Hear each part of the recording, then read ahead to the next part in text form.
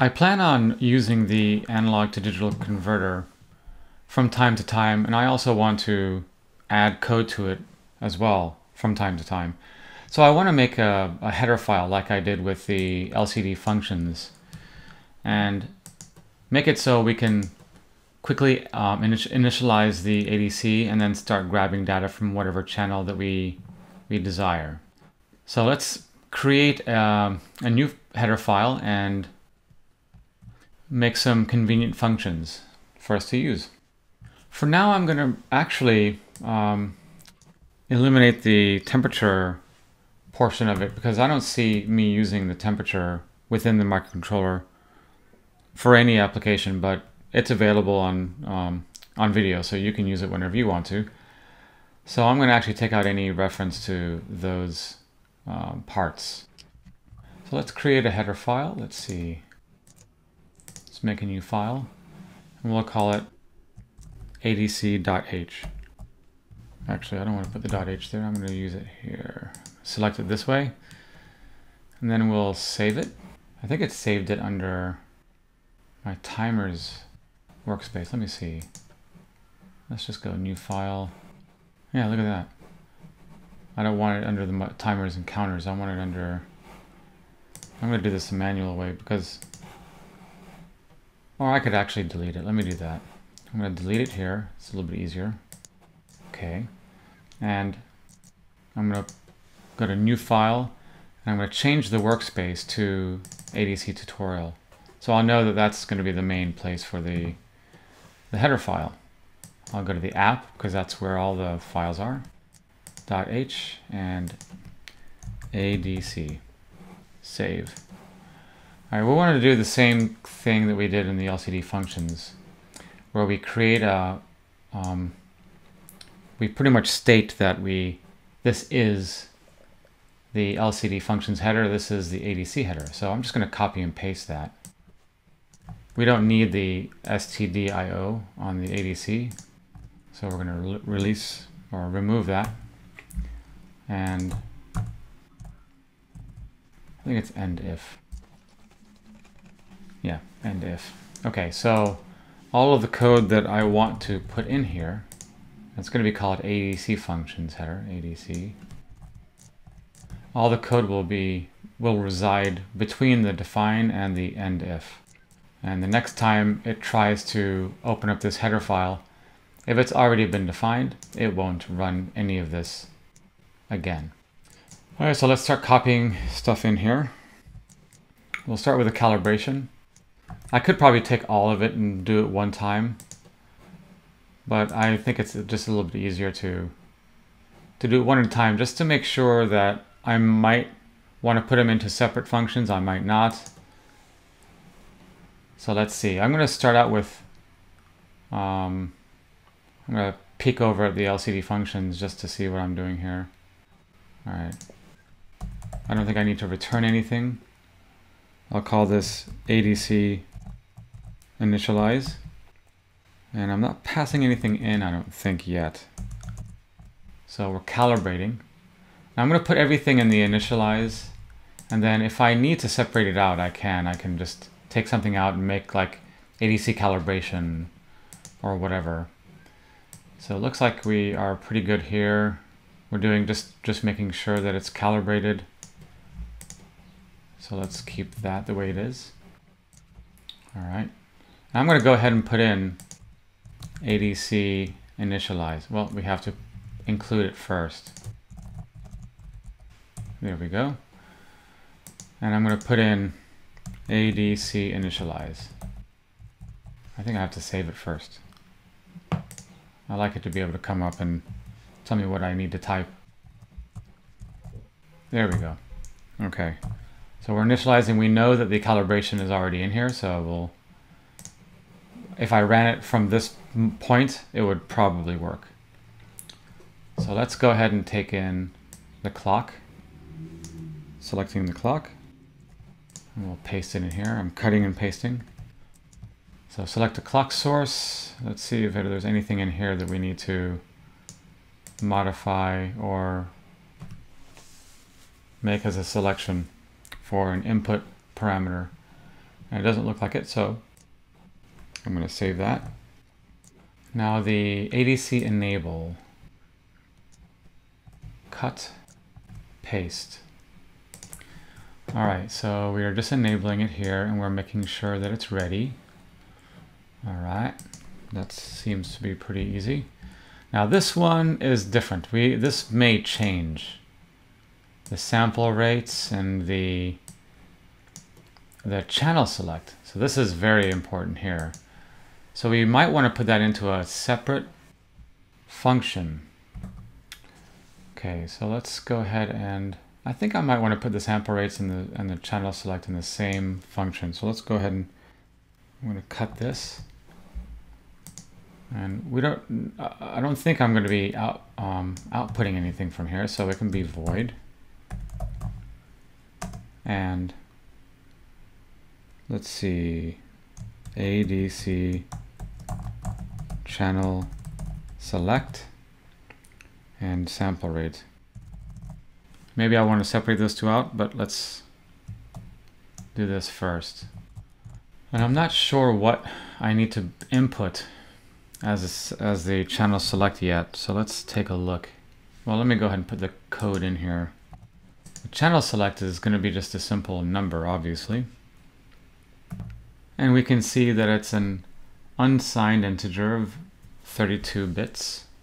So we can go ahead and just put that in here, uint 32, uint 32t, um, and we'll call that channel.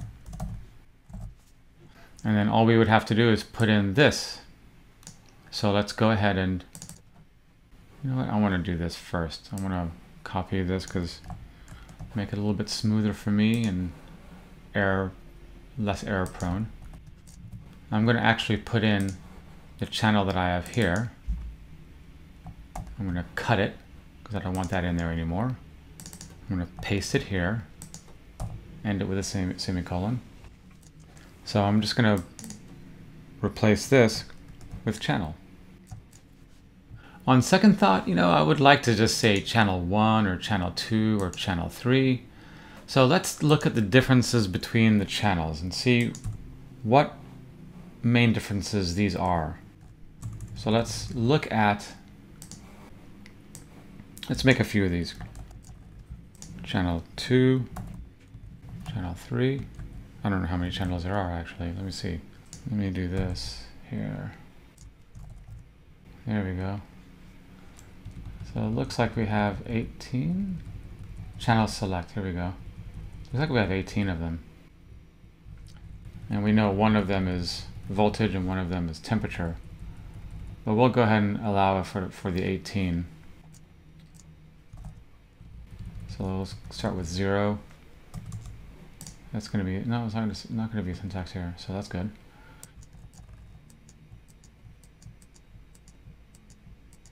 I'm doing it this way because I want to look at an alternative way to going to the data sheet. We don't really need to go to the data sheet if we have these variables or defines macros here. So you can see it's it's it's upping it by one. So you got one, two, four, which is the bit next to it, eight, 10. So all we're doing is we're shifting the bit. 20, 40, and 80. So all we're doing is we're moving the bit over one. So that's that's pretty simple to do. And this is just using the, the left shift. So if we take a look at the hexadecimal number, one and two, four, eight. Let's go ahead and uh, do a conversion from hex to, to binary and you'll see how the one is shifted from one to the next.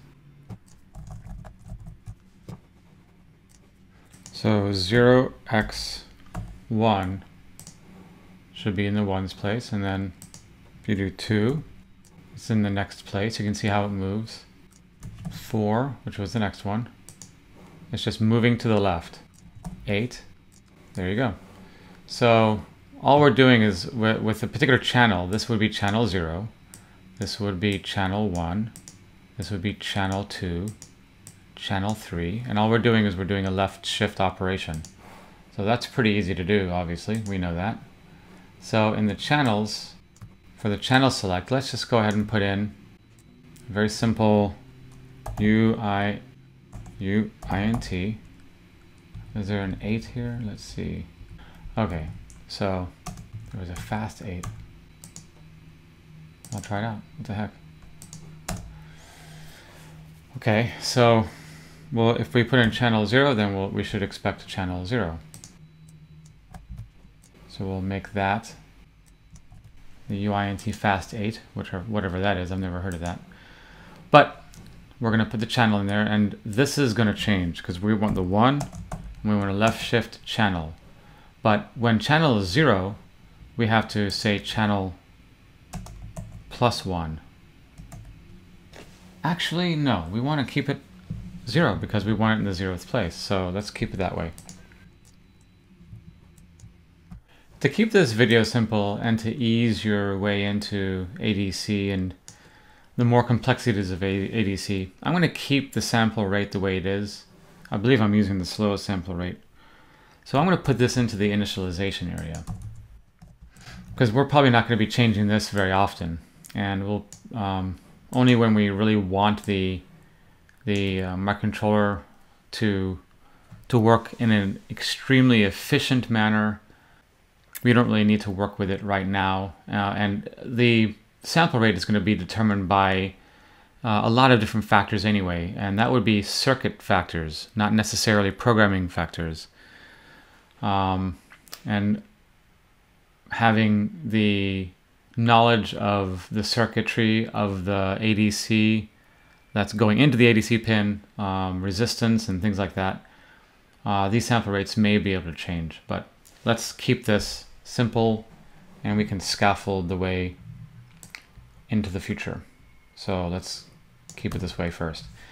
So this one really is the only thing we're going to be messing with is the sample, is the um, channel, channel select. Let's see, let's make channel select. And you know, this UINT fast 8T might actually, I'm going to, I'm not sure if I should keep it or not.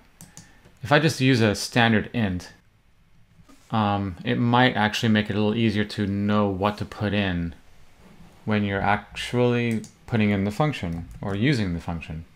So let's let's see what it says when I try to put something in here.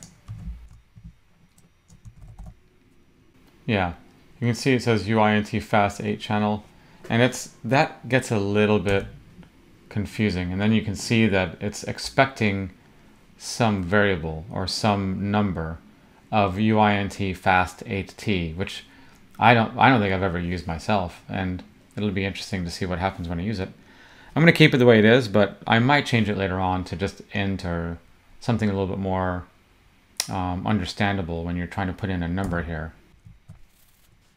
All right, let's see if this still compiles or builds.